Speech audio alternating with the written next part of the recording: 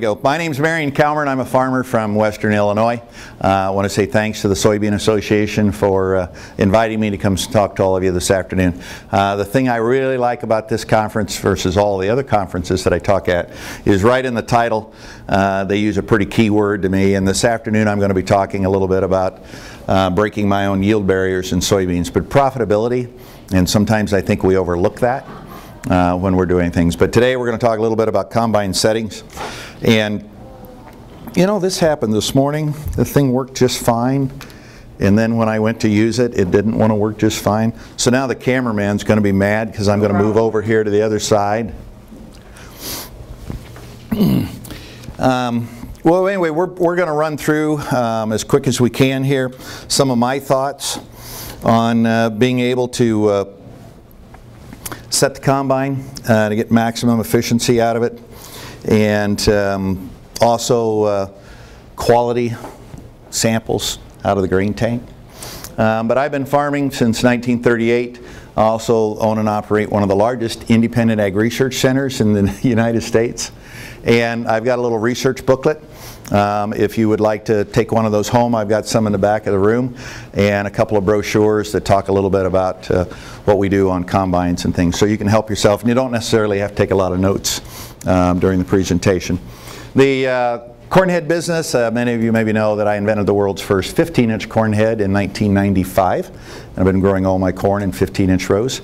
And then just this past year, I invented the world's first 12-inch cornhead. Sold it to Harry Stine. Maybe you've seen, uh, we've been on the cover of a couple of magazines. Uh, just recently, Farm Industry News did a story about us. And so anyway, we're, we're pushing the edge of the envelope and producing corn in, in narrow rows. But uh, it, gives me the opportunity um, to work with a lot of farmers um, throughout the United States. This is where my farm's at, a little town called Alpha. I'm about 30 minutes south of Moline, about an hour north of Peoria. I've got silty loam soils, they're dark in color, very productive. And uh, so um, as I travel, um, not only do we talk a lot about corn production, but soybeans as, as well. And I, I want to give you a few pointers here today that'll help you out. Um, my background and my ancestors are heavy into the machinery business. That's my grandfather on the left and his brother be my great uncle Barney. Um, and they were some of the first ones to take a stationary corn sheller and mount it on a solid rubber tired Model T truck. And this little water reservoir is still in our community on Route 17. And believe it or not, um, they used to go around and shell cribs. And on my mom's side and my dad's side, they both had threshing crews and my ancestors came from Sweden and they used to build and sell self-scouring moldboard plows at about the same time Mr. John Deere did. So kind of in my blood, my uh, cousin is uh, one of the senior planter engineers for John Deere. Um, my brother is an engineer at uh, CAT and so it all kind of runs in the in the family. So hopefully, um, I'll give you a little background. Uh, like I said, in the mid 90s, we, we invented the world's first 15-inch corn head. We built one for the red combine, one for the green combine. But still, a lot of opportunity to talk about soybeans as well.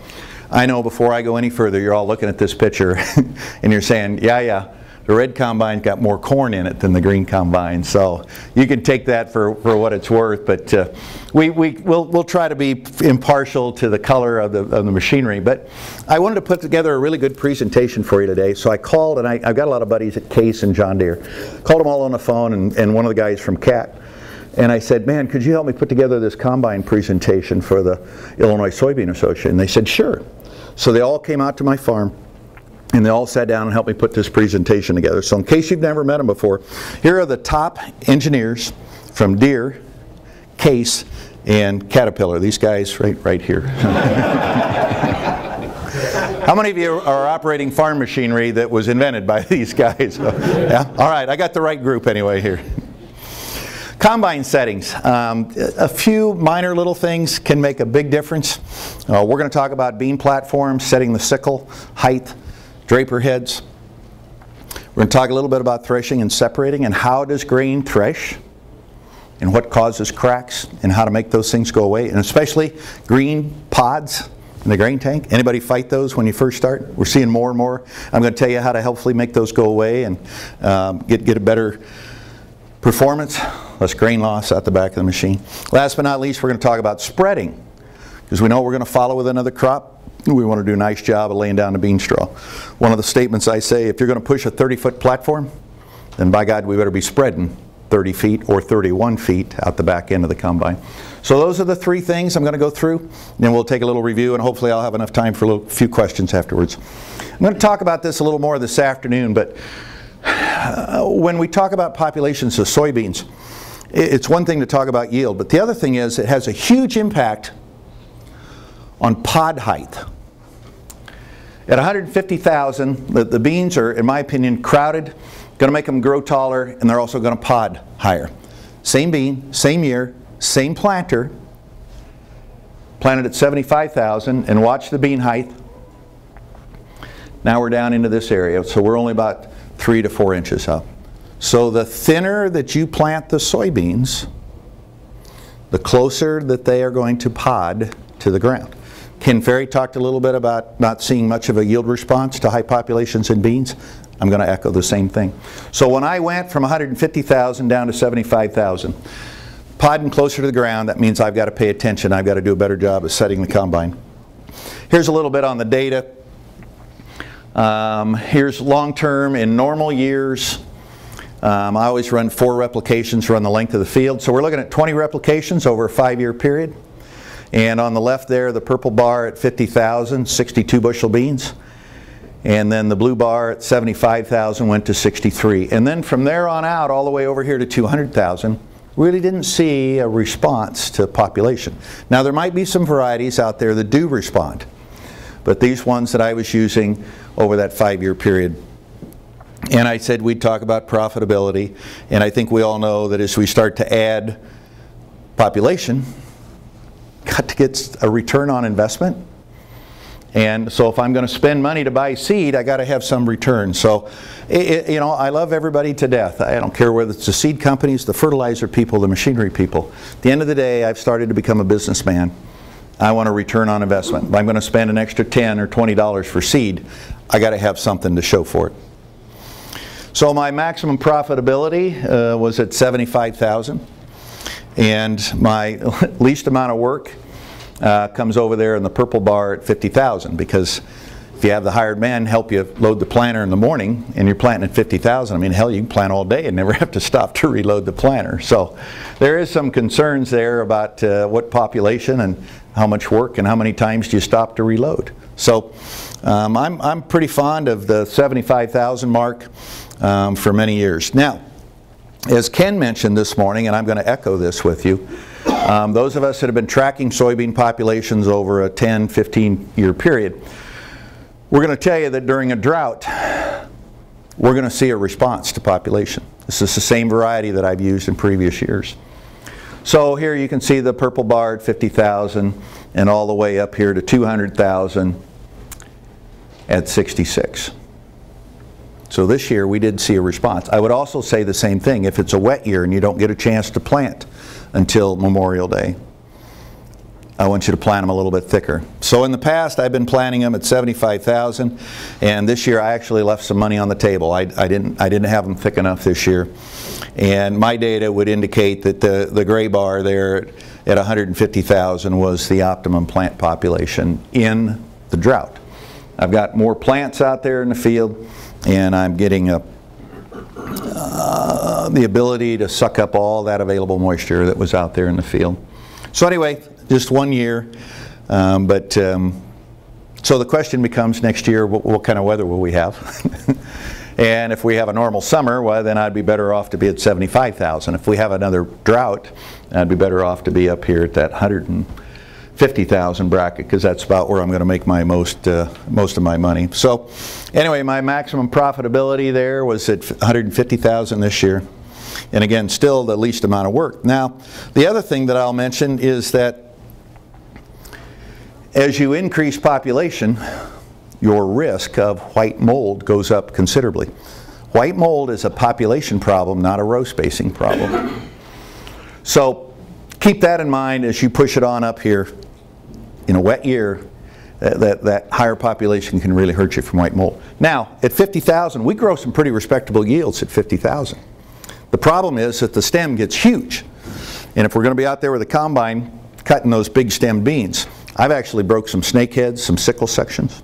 And so I had to come up with an alternative method of being able to cut those big stems off on the soybean. So this is what I used to harvest the plot with last year, right there. Was chainsaw. but it, it's just it's just common sense. Uh, soybeans are a legume, and the most abnormal thing we could do to a legume is to put it in a row. I, I mean, how many's got an alfalfa field at home that's in rows? You know, we've got alfalfa fields, but we don't put them in rows. Corn's the same way. Corn's a grass. Most abnormal thing we ever did to the corn plant was to put it in a row. They, they don't like competition. Uh, they like to have plenty of sunlight, plenty of nutrients, plenty of water. All right, let's move on. So we're going to need to adjust the headers. Um, this is a new Draper header. It actually flexes in the middle uh, to handle the contours. We want to make sure that we're cutting below the lowest pod. Some people always say, oh, I got a lot of sickle shatter. You know something? No, they got the sickle too high and they're cutting right through that bottom pod or so on the stem. So do a couple of kill stops. Get out here and, and dig underneath that uh, reel and find out, you know, if I got the sickle set too high. If in fact you do have it set too high and you want to readjust it, on a red machine, um, they've got a threaded bolt right in here and you can loosen up these two bolts and they're, they're slotted right here and then you can adjust that. And this is the face plate that's on the front of the feeder house. Now in my combine I've got to set the header off when I readjust this, but that's how I tip that header forward if I want to cut them a little closer to the ground. Or if I'm plugging all the time and I got a lot of residue in the field, then I'll pull that header back up just a little bit as, as well. Uh, the green people now uh, have an adjustable faceplate with the, the new 60 series machines. Um, and they got a jam nut right here and a turnbuckle and the same thing you loosen up these two nuts they're slotted and you're going to rock that faceplate back and forth and um, you'd be surprised um, what a nice job you can do spend a little time and adjust that header on down and cut below the bottom pot the other thing is that if we're in a no-till environment occasionally you're going to run into some of the corn stalks from the previous season and I grow all my corn 15 inch rows and we're starting to move to higher populations. And I, I actually end up with a residue buildup problem. And if I'm cutting beans and it's late at night and we're getting a little fog and it gets a little damp, I'm going to struggle to uh, get those uh, stalks to come on across the sickle and into the header. So um, I, am a common sense kind of a guy. I take a tape measure here at the bottom. Got about three inches across where the brace roots are at. Now, when I was uh, coming out of college, uh, the quick cut was pretty popular, uh, white people. And it's an inch and a half sickle sections and inch and a half on the snakeheads. But the problem that I had, we had two machines in the field. One of them had this sickle and the other one had a three inch sickle. And it was just the difference between night and day. And even though you think this would be better, the problem is this is actually the corn stalk right here and if you look at the diameter of the stalk they normally run about 3 quarters to 7 eighths of an inch in diameter and they're just not going to fit into that sickle. And so then we just start bulldozing, we start pushing them down the field and then this little corn stub right here knocks the next bean plant down and then all of a sudden you get a ragged job out there in the field. So if, if I'm looking for a nice, clean, sweet looking field, um, I don't think I'm going to get it with the quick cut. Um, I like 3 inch cut, uh, three inches across the snake heads and three inches between sickle sections. And you can see again, even with a few brace roots here, we're able to get this stub and the root ball to, to, to go on into the header. We can cut it off clean, feed it on into the combine, send it on through. John Deere has a four inch cut. Um, four inches between the snake heads, but two inches between the sickle sections. I'm kind of up in the air about the two inch sickle sections, but three inches here, I, I, I get along really well with it. Um, also sickle register, something we talk about, and that means during the stroke of the cycle back and forth on the sickle, um, we want that sickle section to stop dead center right underneath the snakehead that allows the next mouthful of soybeans to come in to get cut off. And then when it cycles back over here, we want it to stop dead center under this side. That's called sickle register. I don't know that we can adjust that much anymore. In the old days on the Pitmans, we had a threaded rod. We could adjust that back and forth. But it, it, it bears checking. To, to make sure that you're on target here because if these don't stop, again, we could end up with a ragged cut out there in the field. Um, a little bit about the corn stalks. It's, it's becoming more of an issue, I think, to all of us if we no-till or even corn on corn or whatever, that the BT corn stalks are, are really starting to give us some obstacles to getting them to decompose in time to grow the next crop the following year. Uh, we worked pretty hard on this design, um, came up with what we call now call the BT chopper, and it's 10 flutes in the circle. Uh, they're razor sharp, and we're able to cut the stalk into pieces that are about an inch long, and we're also able to shear them and it opens up this corn stalk so that the microbes, the bacteria, earthworms are able to start breaking it down. And I'm looking to accelerate decomposition and I'm looking to accelerate my reentry time. This is plant food and it's also food for the earthworms. And the faster I can get it back in the soil, the better off I'll be as well. And um, on a stand here at a hand crank, um, you can see what it does, or you can stop by my booth if you want. We'll run a stock through there. You can look at it online if you want. It's a pretty cool little process, something that we worked at, and finally make, making it happen. So I think as we move into the future, BT corn stalks are going to continue to become healthier, and we've got more fungicides now than we ever have. And that, that baby is just almost like a miniature hedge tree as far as trying to get it to decompose. So if you're in a no-till system, um, and you're, you're in a um, corn soybean rotation, being able to get the stalks down on the ground, feed the earthworms, get the microbes, bacteria, this stuff will melt down pretty fast, turn it back into the, into the soil. So if it's late at night and or during one of those days when it's kind of foggy, you know, and it doesn't have a whole lot of sunlight, we always have a little trouble in no-till being able to get the cornstalk residue across the sickle and into the cross auger. And so take some time, get out there, look at your cutter height.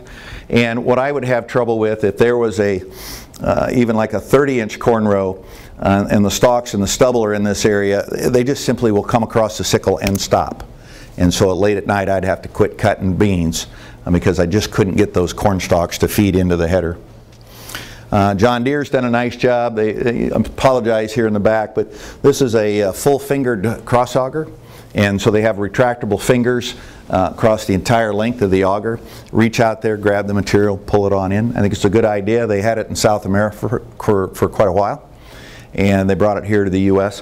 Uh, John Deere also runs a stainless steel tray and I really like that as, as well. We're, we're interested in trying to get that material from the sickle to the auger as quickly and as smoothly as possible. Uh, in adjusting the cross auger, if you've still got a conventional head, we need to talk about the clearance between the auger and the tray. On a corn head, we, we like to run about an inch and three quarters of clearance because we don't want to crack the kernels. If you're cracking grain in your combine when you're picking corn, go, go and look at that cross auger because it'll actually slice through the husk and through the kernels and into the cob and it'll crack grain. In soybeans, a different story. I want to run this auger as close as I can to the tray because I'm going to close this distance in right here and I'm going to be able to suck that material underneath a lot quicker. The tighter it is, the more suction that I have to pull that material away from the sickle. Draper heads. Anybody in here running a draper head at home? Oh, quite a few guys. How you getting along with them? I, I, yeah, I've yet to find a person. And if I was to try to get you to go back to conventional head, would you do it? No. And we had, we had a fellow in the earlier session here. So as you go through time and you get ready to go to the next machine or you trade your platform, I'd really strongly consider uh, going to the draper head. Yes, sir.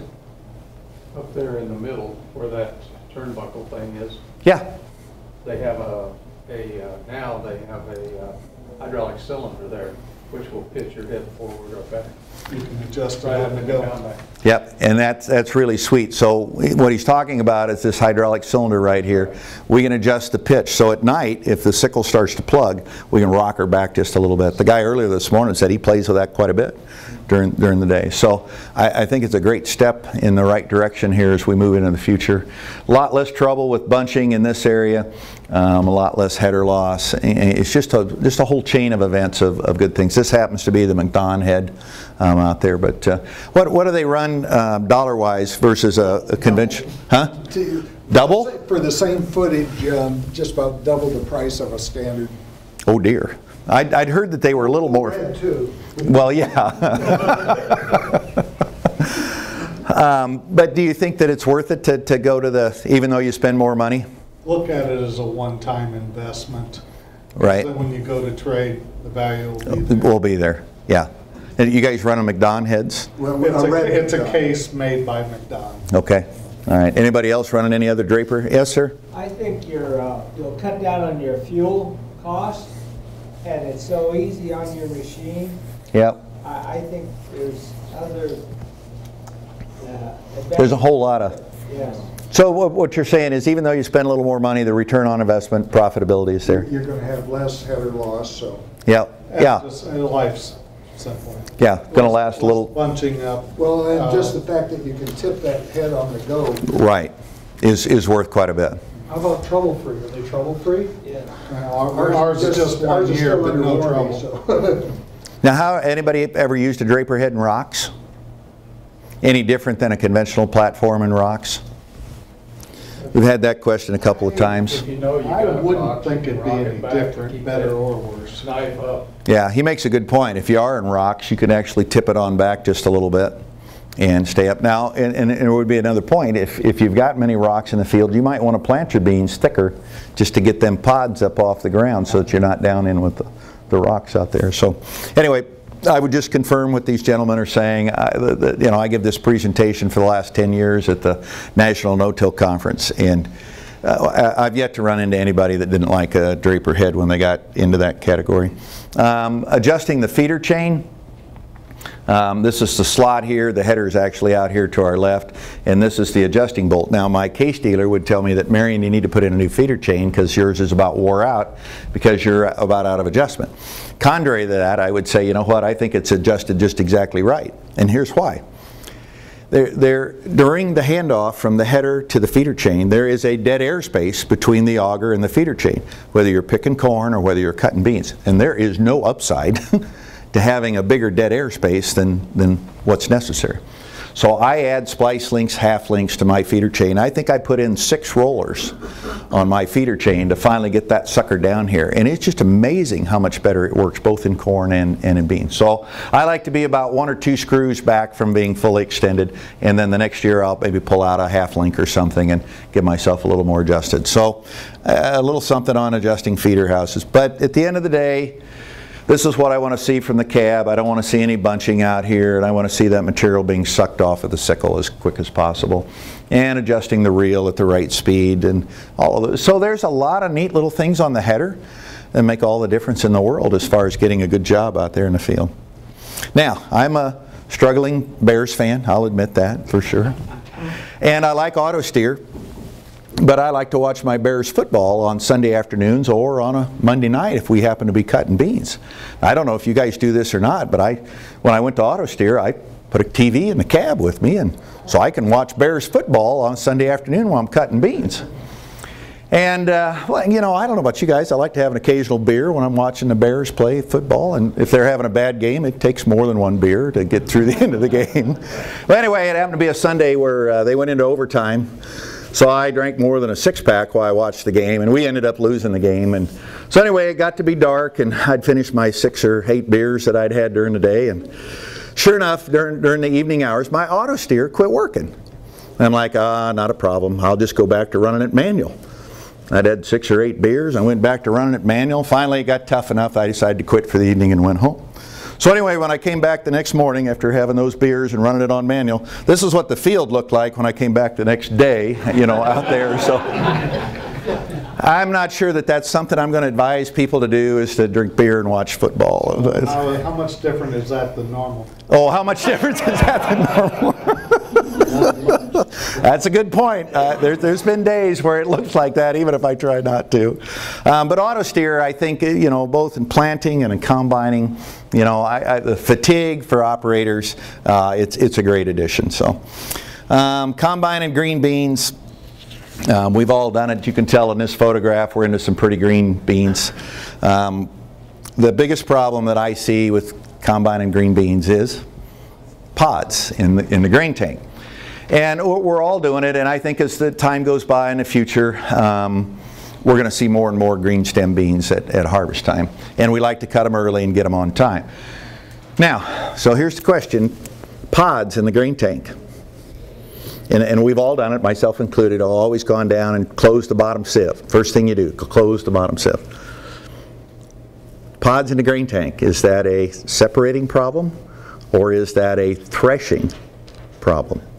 It's a threshing problem. And so then that train of thought kicks in now and say, all right, to solve this problem, I've got to go back and see what's wrong with my threshing system. And so we did a kill stop and uh, grabbed a handful of what was below me. And sure enough, there's quite a few pods, green pods, down in there. And I'm just like, well, they were supposed to have been threshed at the concave area. And so what happens when the pod falls through the concave, it gets into the auger bed, it goes back here to the sieve, and it drops through, and then the return kicks it back out, and it comes back up around, and it drops the pod in up there, and then what happens? It falls through, it goes on the auger bed, and it goes. So I don't, you know, I'd like to put a little sensor on these green pods and see how, just how many revolutions does it make and inevitably, I think it's going to either end up on the ground or in the grain tank. It's going to go one place or the other. So I think we need to deal with it. But here's the common sense part of it. And you know, I tell everybody uh, it's a sad day in America when common sense isn't so common anymore. And so that's one of the things I try to teach to my employees and my daughter and, and the people that I visit with. But right here, just grab the pod, walk up to the concave, and what's it do? It falls through. Is it going to get threshed? No. And so we try to have concaves that work both for corn and beans. And it's not just specific to the red people. I mean, the green people are the same way. They've got a round bar concave, and the pods are going to drop through there as well. So if I can't get it to thresh, I've got to increase my threshing power, not necessarily the speed, not necessarily the concave clearance. I need to increase my threshing power. So how does grain thresh? Is it the metal that hits the pod?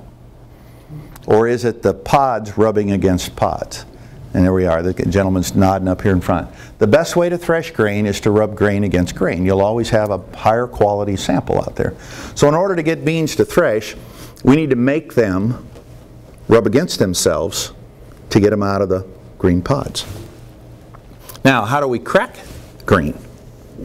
That's when the metal hits the grain. And speed is the number one contributing factor to cracks in both corn and soybeans. And so I like to speed the rotor up until I see a few cracks and then I back off. Now if you're cutting seed beans, um, the first day back after a rain, there's a, like a positive pressure on the inside of the bean, and, and they'll just split like a son of a gun that first day back. So if you're cutting seed beans, I'd, I'd suggest the first day back after rain is to go cut some conventional beans. Then the next day, uh, they'll, they'll uh, those, those pressures will neutralize, and you can cut your seed beans on the second or the third day after a dry down. So how are we going to get those beans to rub against themselves or those pods? And, and, you know, and I talked about this with Dad. He goes, "Oh, that's nothing new." He said all of our older combines used to have filler plates in them, uh, wheat, soybeans, and it's just nowadays we're all in such a hurry to go from corn and beans, so we don't talk about this much. But it's a very, in my opinion, a very real part of cutting green beans. I use two filler plates on the first concave, and I leave the rest of them open. And that way I'm going to hold those pods in the chamber a little bit longer and I'm going to make the pods rub against each other. The green people have the same thing. You can actually look in the owner's manual and this is a concave insert. It snaps in there. I think the Deere people actually did a little better than the case people. Um, you got a part number and, and it, it clicks in there and snaps in and it, it just takes a, a, few moments to put it in there. But boy, if you're running a green combine, and you've got pods in a grain tank, just snap that baby in there make them rub against themselves, and they'll, and they'll come out of the pod. And then, as we start to think this on through, so what happens in the rest of the machine now? Now that I've got more threshed pods, do I have to have the bottom sieve so tight? Open the bottom sieve up. What's that allow the air to do? Come on up through the machine. Fan's not working as hard. I'm blowing the holes out the back. It's just a whole chain of events takes place. And I, I really encourage you to give this some thought, give it a try and, and do a better job of rubbing the pods out when they initially come into the combine on that first pass, and, and you'll be a lot happier. Um, I'm running a lot less return when I look at my tailings monitor now. I've got a lot less grain loss than what I had in the past. It's kind of a bugger when you're switching from corn and beans to put these in, but I think the uh, return on investment, the time, is, is very valuable. Um, so I like to do kill stops quite a bit, uh, do, a- do a lot of them in corn, I do a few of them to beans, and I can guarantee you, um, if you're pushing a 30-foot uh, platform and they're green stem beans and you're, you're, you're humping it on down the field about four mile an hour, and, and, and with the red combine, we just reach over and yank the throttle back. And it's pretty easy to get her to come to stop uh, when, when you're cutting green beans. The problem is getting it to restart. and um, it, it, I've had several times where I've had to open the concave up to get it to restart after a kill stop. Corn, you can hit the switch, she'll come right back to life. But boy, it, with, with a load of green stems in there, it's, it's pretty tough. But anyway, this is, I always say the health of my machine is right here and I'm going to put my little hat underneath there. I'm going to pop the tray, then I'm going to examine uh, the material that's in that return. And yeah, there's there's a couple of pods in there, but I've you know in this particular kill stop, I've got a lot of holes. And they really shouldn't be in the return. They should have blown out. So I've, I've learned something. I need to do a little more work on setting my combine here in the future.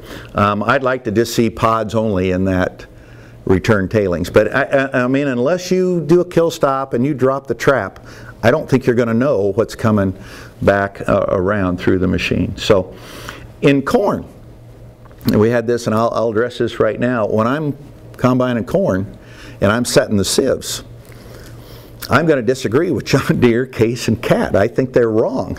They, they want you to close the bottom sieve to take the cobs out of the grain tank.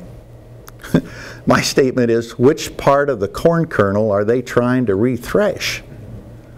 And you, you think about it, and I know we've all done it, and you think about it, and there's just no sense of closing the bottom sieve when you're shelling corn. And so I run with the bottom sieve wide open, allows the air to come on up to the top sieve, and I clean the grain tank with the top sieve. And it does a beautiful job, and there's a few people doing it. How many of you adjust your combines like that? You guys do? Okay. And, and, and so here's a quick example for you, and then I'll move on to some more things. We were, we were picking at the Farm Progress Show. We were on one of the combines with our heads.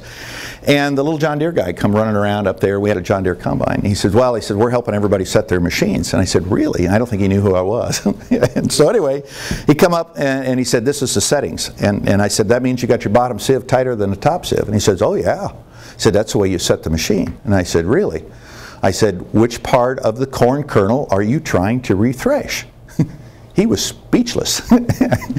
so he crawled down off of the machine and I said, you're going to have trouble. Well, you're okay in dry corn. I said, you're going to have trouble in wet corn and you're going to slug the return elevator. No, no, we're fine. We got big combine. They were running a 16 row 30 inch corn head. So sure enough, the second day we were shelling 30% moisture corn. And my buddy and I were sitting in there, we watched them go down the field.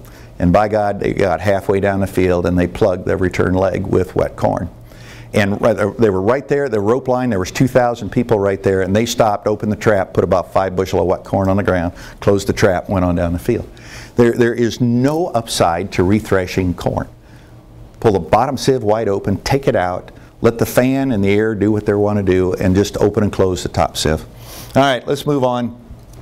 A well-balanced combine will have the same amount of loss over the sieves as it does over the rotor. So anyway, what I like to do is adjust the vanes and try to regulate that machine. And I'm clicking back and forth when I'm going from corn to beans. I can adjust the sieves or the uh, transport vanes um, that allows me to go from corn or beans. If I'm in corn, I retard the vanes because I want to run one more revolution. When I'm in soybeans, I don't have any reason to keep the straw in the machine. So I rotate those vanes, kick the straw right on out of the machine. Green combine doesn't allow us to adjust the vanes. Um, they're welded in position. But anyway, spend a little time while you're going down through the field and you're on auto steer, click back and forth, and then turn the meter, meter sensitivity all the way up, and you'll be able to tell. The STS, of course, is supposed to stand for single tine separator.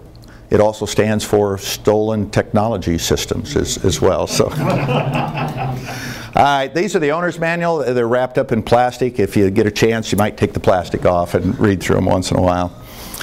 Uh, let's take a quick shot on a kill stop here. Um, straw chopper on a red machine is on the inside. We set the concave in here. Keep the blades good and sharp. Also, you can tell where the wind is at on the sieve. I apologize again for you in the back. Over here, Um, we don't have much wind at all, and this chamber's full of mog. This, this chamber is really clean, and then it just keeps getting a little thicker, is why I move over to this side. Um, these are the hillside attachments. It's a, a, a plate that bolts onto the chaffer, keeps that material from sliding. If you've ever shelled corn on a hillside, you come back about a month later and you see a green stripe that goes around the side of the hill. Um, these will help, but again, um, open that bottom sieve, let the wind come to the top sieve. Spreading, last but not least here, when I pull into the soybean field, my question to you is, where are you going to start? Sounds like an odd question. I was out in Nebraska. The responses I got in Nebraska, when I pull into the field, where do I start? Next to the truck. or the other guy said, at the gate hole, you know, and I'm like, that's okay. But after we cut the end rows, do we really care you, you, which side of the field you start on? There you go. I, would agree with that 100%. It's, it's, something that hopefully your dad maybe taught you or something you've thought of yourself. But this is what I like to see as a crosswind. I'm, I'm cutting beans north and south. The, the prevailing winds normally come out of the west. So I'm normally going to start on the east side of the field. I want to be on the downwind side of the field and you can see the dust blowing across here. And I'm cutting 30 feet. I want to spread 31 feet, so I got a little bit of overlap. I don't want to see any tram lines out there in the field when you get done cutting beans. My suggestion is start on the downwind side of the field, work your way into the wind when you cut beans. If in fact you have a fire, you're going to be glad that you started on the downwind side of the field. So my last statement here, and I'll open it up for questions, is about fire. And we, we all love our combines. And I carry a fire extinguisher, uh, a heavy leather coat, and a flashlight with me just in case of, of fire. And I keep them right there in the cab so that I can see them at all times. If it's at the beginning of the season, combine's working pretty good. It's a relatively new machine. Uh, got low hours on it. I smell smoke while I'm going to bail out of the cab. Take the fire extinguisher with me, and flashlight. I'm going to find the smoke, and I'm going to put the fire out. Now, if it happens to be at the end of the season and the combine's got a lot of hours on it, oh, you guys are way ahead of me, aren't you? and it's been breaking down quite a bit, and I'm about due for a new machine, and I smell smoke. When I bail out of the cab, I take the heavy leather coat with me, and then I fan that baby to see if I can get it to go. And if I'm really lucky, uh, you can get her to burn, by God. So, um, anyway. Uh, that's kind of my thoughts on setting combines and um, like I said you, you got to be careful carry a little three gallon sprayer with you um, with water uh, five gallon bucket of water, a couple of fire extinguishers, and you'd be surprised you can save from having a total disaster of burning not only your crop but the neighbor's crop and those kind of things. And we had an incident in our part of the country about 15 years ago. The neighbor caught his cornfield on fire, and we're right along Interstate 74, and of course the fire was on the west side of the interstate.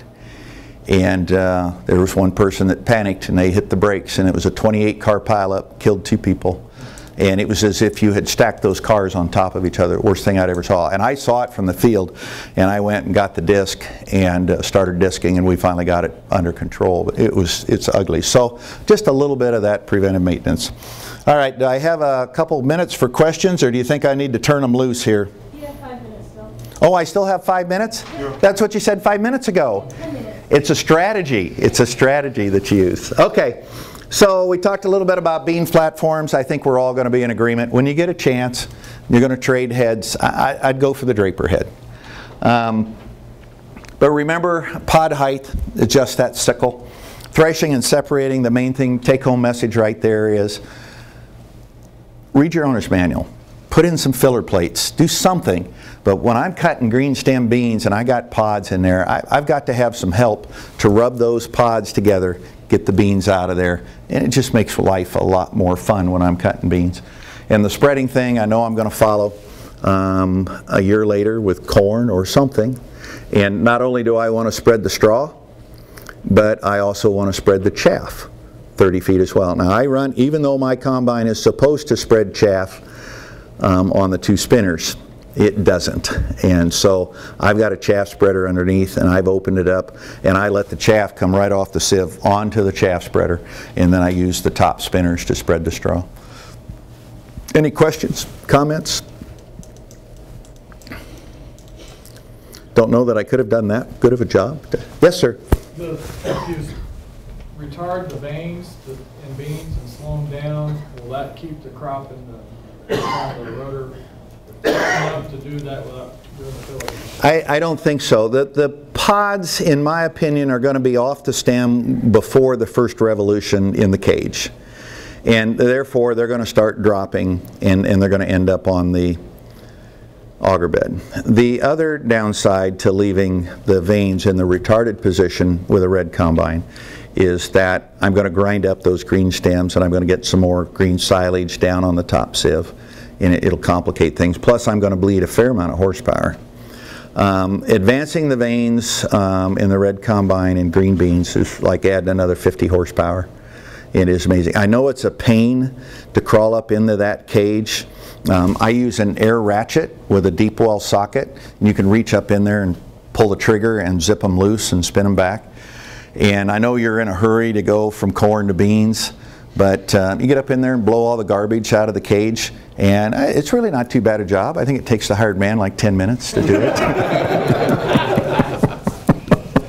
So now you're moving those vanes like retarding the flow for corn. Yep. And advancing the flow for beans. it would be my, And yep. splitting the differences and Yeah, it, it would be my opinion that in corn, I, I, I want to retard the flow. The, the, the cob and, and is, is exiting the rotor just a little too quickly, and I've got maybe one or two kernels that are still on the cob.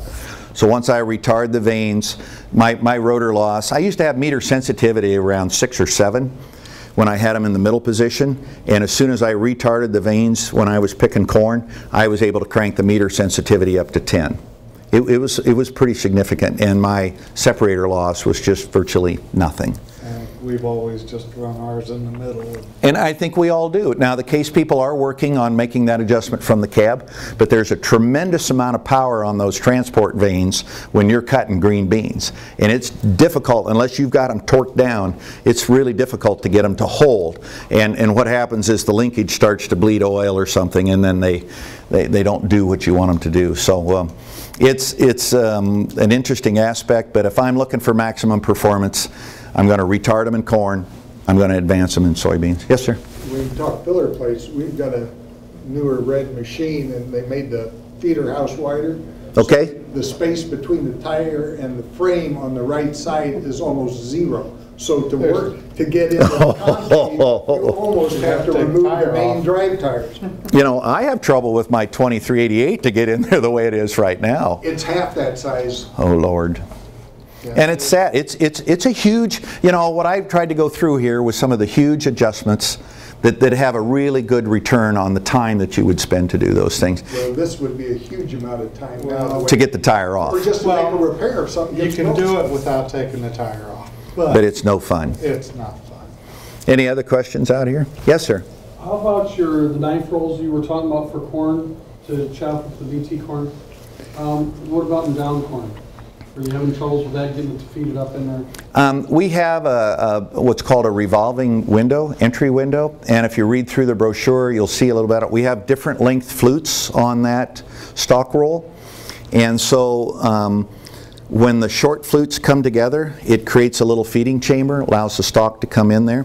Um, the other thing that we noticed in down corn was when we went to 10 flutes in the circle, if I can get a hold of that stalk with the 10 flutes, I'll just be able to continue to reel it on in.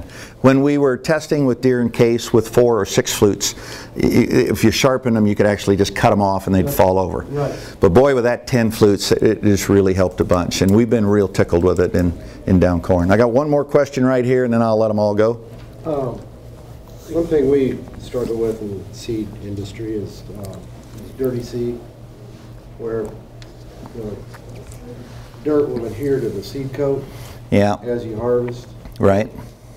In in your opinion, where's, where's the biggest place that that's coming from? Well, if, if there's any tillage in the system and you bring up some of the root balls and then they lay there, or even with a no-till planter, you kick up any root balls that got any soil in them, um, they're, they're going to end up going through the machine. So that's the first thing I would look for is to try to get that nice mat um, down underneath. Um, the second thing is, is going to be to, to tip that sickle back and, and keep it above. Now, if, this, if the headers start to plug, uh, first thing that's going to happen is you're, you're going to have some of that moist soil that's going to come into the header.